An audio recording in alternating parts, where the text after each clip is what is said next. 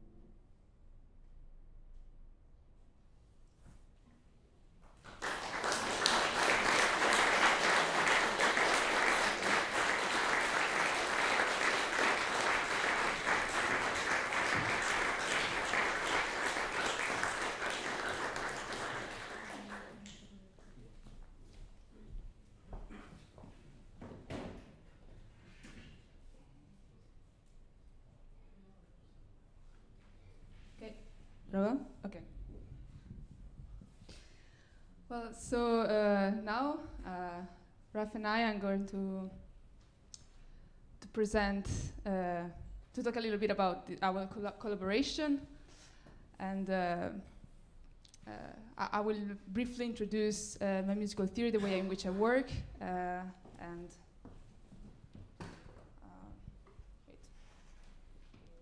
Yes, just.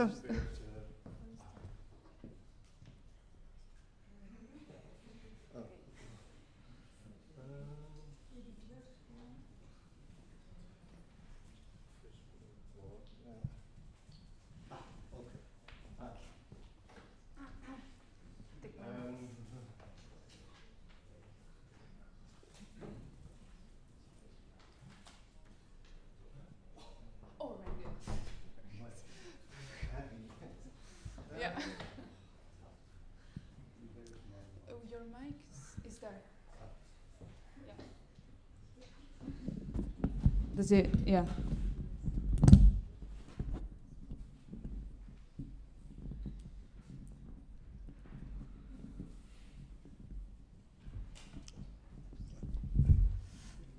Okay. Okay. There's a bit of entanglement. Topologically very difficult. okay.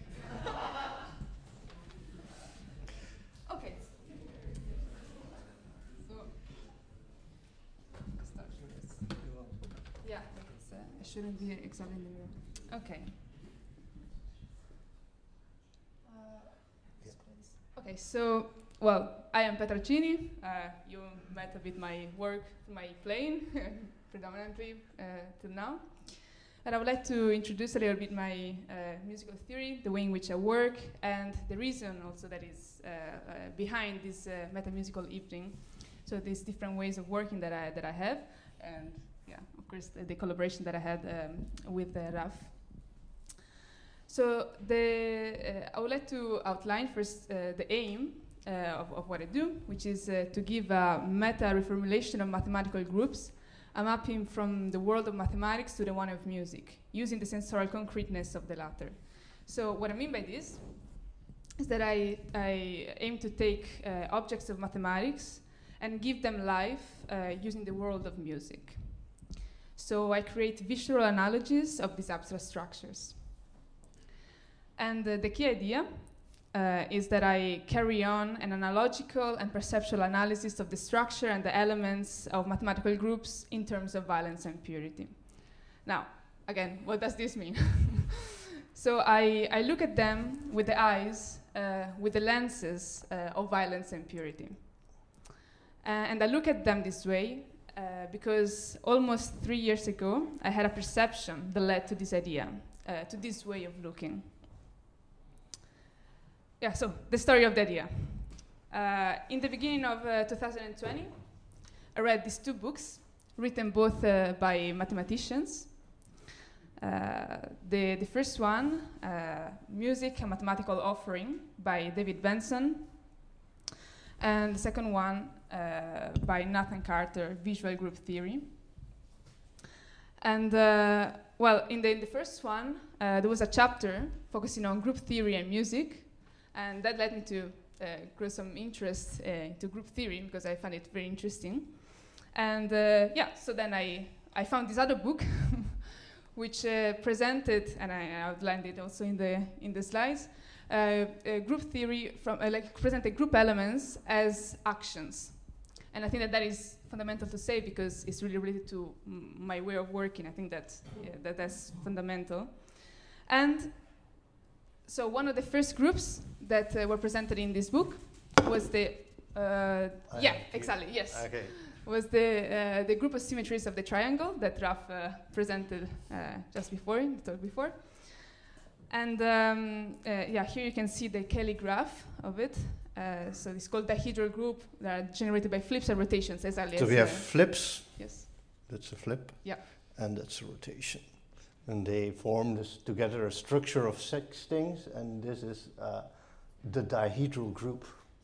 And that's one you studied first. Yes, one of it was one of the first that uh, that I encountered in this book, and that uh, yeah, that led to these uh, to these ideas. So my main idea was and sensation. I connected this flipping, this reflective symmetry, to violence and rotation, rotational symmetries to to purity, and yeah. So then I I wrote to this this text that you can find uh, also on my website, and uh, in this text, uh, which is an introduction to my musical theory, uh, a diminished purity technique and theory of my musical practice, I outline the elements that are of main interest to my musical practice uh, and uh, uh, my compositional approach in relation to form. So there's rhythm and counterpoint, which you saw in the first half. So yeah, I composed these these tools that are a bit rhythmical, a bit with uh, uh, a lot of contradictions also within a very a lot of contrast in them. And uh, counterpoint, yeah, I mean, I played the art of fugue more than that. I mean, that's uh, that's quite a lot of counterpoint. And then forms are created as works within groups, analyzed in terms of violence and purity. But one, one one thing that I really want to convey is that for me, this is like a method, a way of living, a way of experiencing reality. And what I mean by that is that to me, it's really about uh, forging a mind that can experience reality in, uh, in different ways. And uh, yeah, and then my works are a consequence of this process of forging, is what comes out uh, after uh, the, the, forging, let's say. Uh, so yeah, on YouTube you can find these works that were related to discrete symmetry. I wrote, uh, I started writing in 2020 some etudes focusing on wallpaper groups, like the tiling that you saw no, with Escher, like for instance and uh, and then uh, there's a uh, the, the um, D3 generated by Gentleman Jack. Now I, I, think I'll just say it here because Gentleman Jack were two of my like I had pet rats and I assigned uh, to like Gentleman was a very soft, pure one, and Jack was a very a bit peculiar. So anyway, that makes me smile. Um, yes. But then, so uh, up until I had worked with discrete symmetry, with these groups that I could handle, let's say, but then I wanted to go from discrete to continuous. And uh, of course, I mean, I, was, I, I, wondered like, what would happen if I were to apply my compositional ideas to, con uh, to continuous groups, and in particular to Lie groups. And uh, to develop these ideas in the context of continuous symmetry, I needed help. Like uh, the expertise of someone that truly understood Lie groups, what they're about. There's, I mean, eh, yeah, more yeah. than me for sure. That's.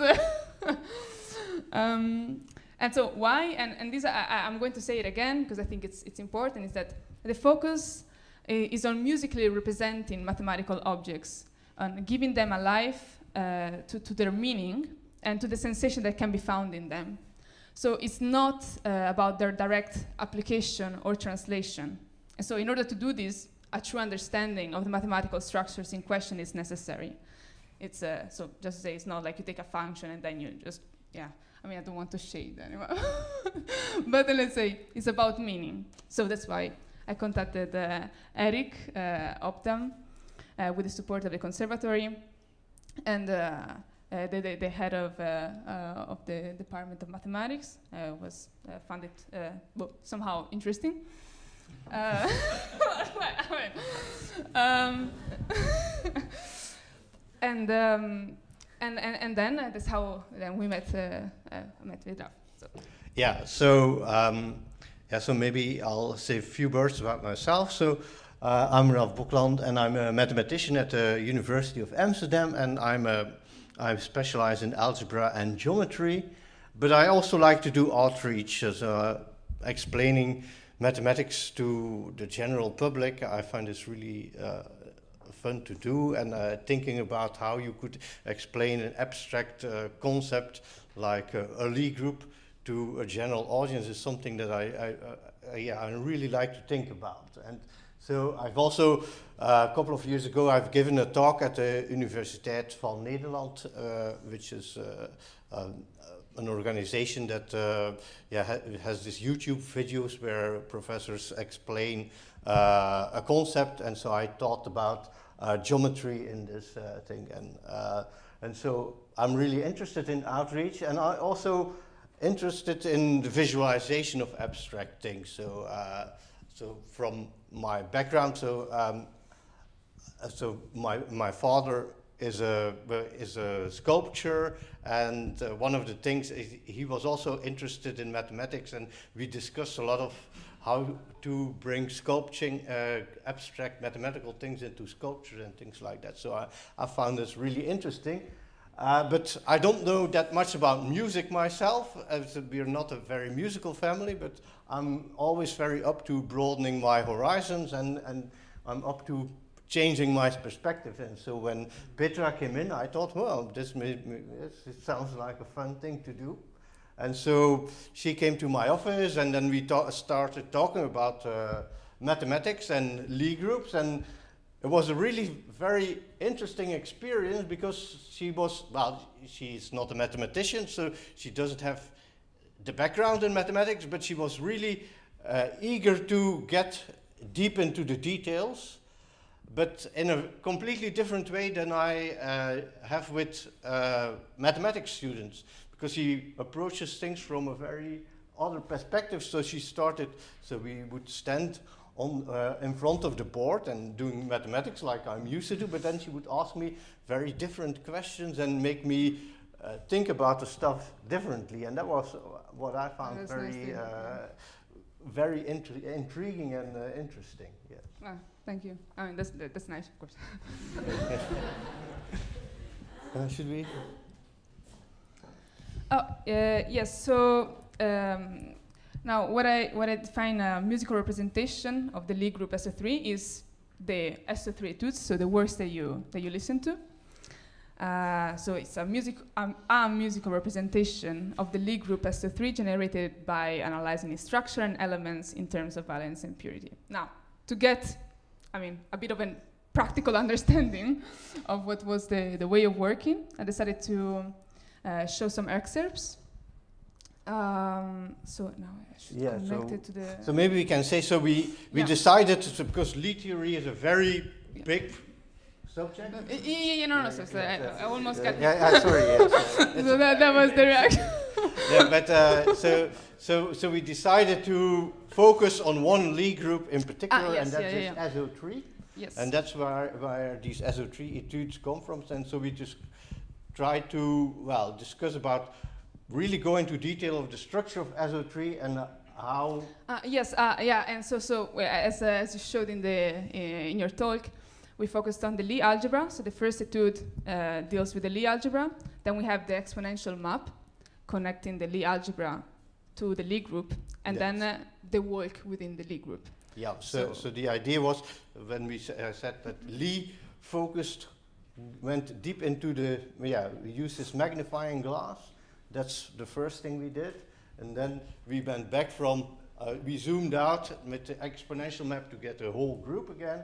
Yep. And then uh, the last part is we looked at the different different generators rotation, in the yes. group. So. And so we are Um, going to, uh, so Yeah, I'm going. Petra is going to give a few excerpts and then Maybe uh, the thing is that. uh, give some comments yeah, with it. I cannot. I cannot I, I will do that. Okay, so um,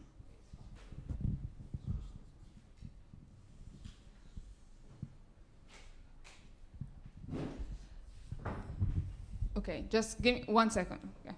just I have to just change the the file. Um,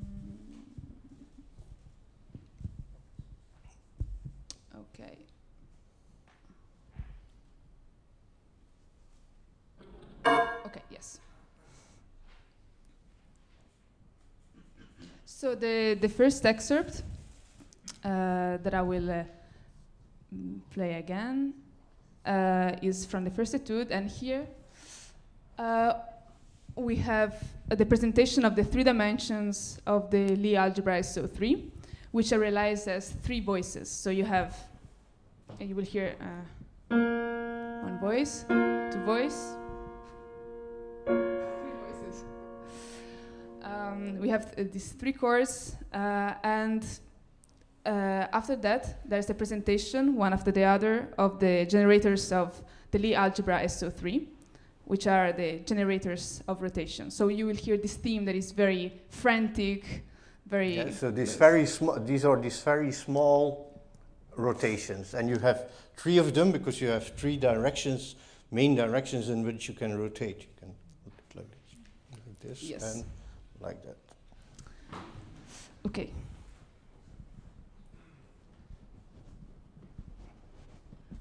Ah no, wait, one, one more thing. So you see there's purity, so this the idea of smoothness. So it in the in the uh, with the magnifying glass we have these very short movements, very small movements, smooth movements, and so I connected this to theory, so that you con- uh, to purity, so that you connect to all of the things that I said before. I mean, otherwise, okay.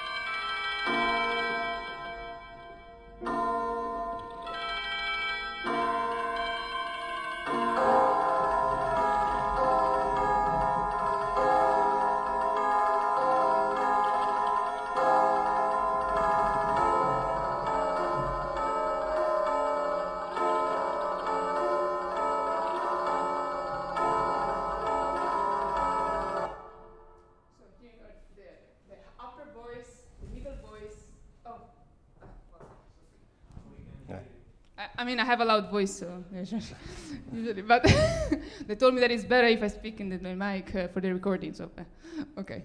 So yeah, the upper voice, the middle voice, and the lower voice. You could hear this frantic movement, and then, ah, yes. Uh, oh yeah, this was actually yeah. So yeah, so so we've included the picture with well, the three voices correspond to the three basic rotations, and they can be used to make any other one.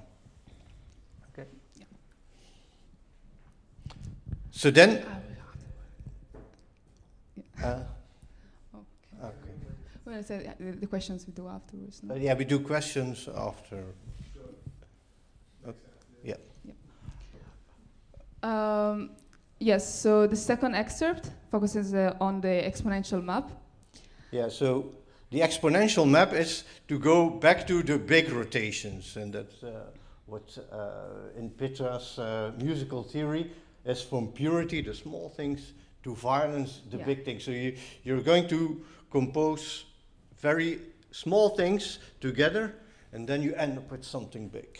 Yes, like it's like also there's the I think that let us say that the there's this idea of of using the vector fields having these small like little steps, and then we arrive at the, at a point in the Lie group, and uh, we're jumping onto the point. So you have you will hear this voice that almost announces that we are, have arrived finally, and then there is a big dish, and that uh, that is the jumping that occurs, and we uh, arrive at the point.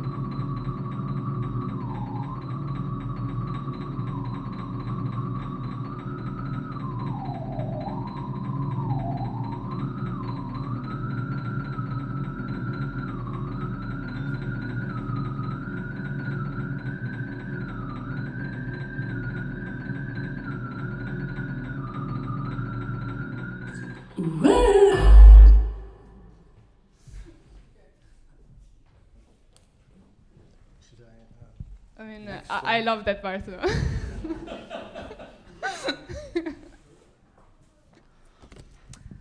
uh, yes. So, and the last excerpt uh, that we want to show is uh, about the, the walk within the group uh, SO3.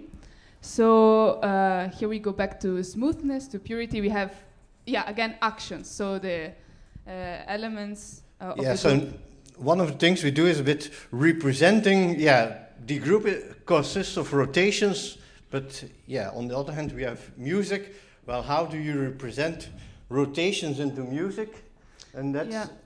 Uh, actually, we thought about, uh, yeah, looking at the score, and mhm. if you do the rotations to the score, you can. it's- Yeah, like you're seen from the an outside perspective. Let's Yeah, say you're looking at the so you space. have to from the imagine. That well we are going to rotate the score and then try to see what happens to the music. So for instance if we rotate uh, like this then yeah one bar comes in front and the other one retreats. And so there's a change uh, in dynamics. You represent this by a change in dynamics. Yes, yeah.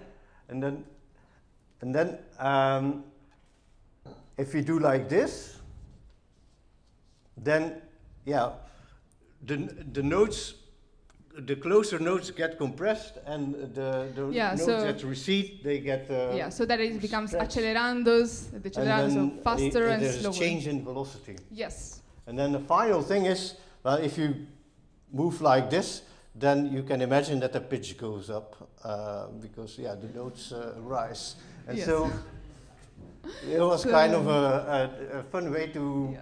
Uh, yeah get these rotations Yeah, into the musical score Yeah, and this is the uh, the musical material that you hear. No, it always comes back a bit uh, modified. So that's uh, yeah, that's the, the the main material that we're looking at. And um, ah, one thing that I like to say is that in the material of the rotation, I used actually the douche that was present in the in this uh, in these points when you reach the point, and I just enlarged it so that we have uh, rotations that like points that become actions. They're seen as actions, and uh, I used uh, uh, yeah I, the, the the longer the the rotation, let's say the more it takes, the longer I extended the material that was in the point, let's say the dish. So you'll hear that always in the background. So now I will play again just the beginning. So you'll hear a rotation uh, of 30 degrees around the x-axis, and then we'll go back to the material. Then another rotation around the, uh, of 30 degrees around the y-axis, and then, uh, of course, material. Then rotation around the z-axis of 60 degrees, and then we go back to the material, and we see what happens.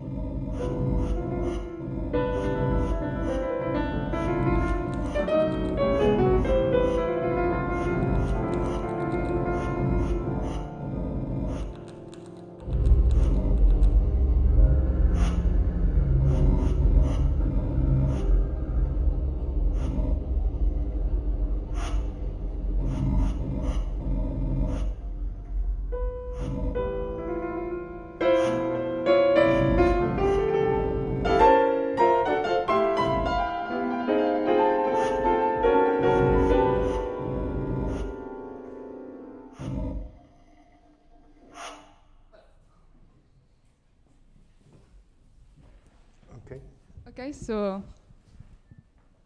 Yeah, so we end with a slide of some, fur- if you're interested in some further work. Petra has a YouTube channel where you can see her playing and, uh, or, and a website. And uh, if Yeah. you want to see her work, uh, damage purity on the discrete groups, you can also go to that thing. So uh, I included a link to um, my um, uh, talk at the University uh, of, well, Universiteit van Nederland, if you're interested. And I also put up my website uh, of the KDVI and my personal website. So they can find them in the booklet if you're interested. yeah, okay, thank you. And uh, if you have questions, you can meet us at the bar.